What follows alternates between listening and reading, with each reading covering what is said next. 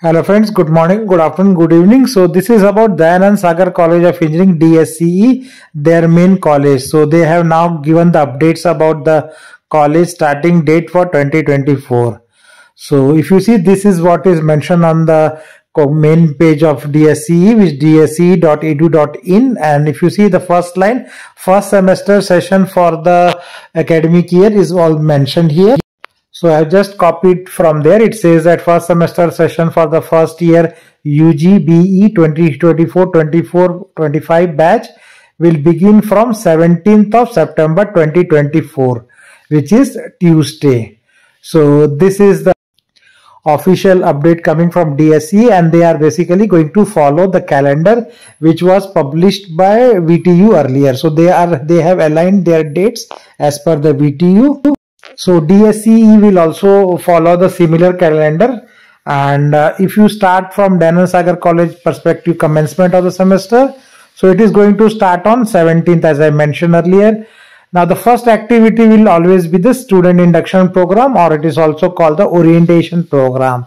So this is basically 11 days which will happen in the start of the first semester. So this is the schedule for the first induction which is from 17th of September onwards. And it will go all till uh, I know 27th of September 11 days. And after that the commencement of regular classes will start from 28th of September right? And in that way the semester will go uh, have you know two internal assessment and then one semester end assessment. But before that the last working day which is the study part of the semester will be up to 27th of 27th uh, of January 2025 when till which time the regular studies will go and after that there will be you know the studies uh, are over and practical viva will start from 28th of January to 6th of February. So almost like 8, uh, 10, 10 days to uh, it will be like practical viva and other things.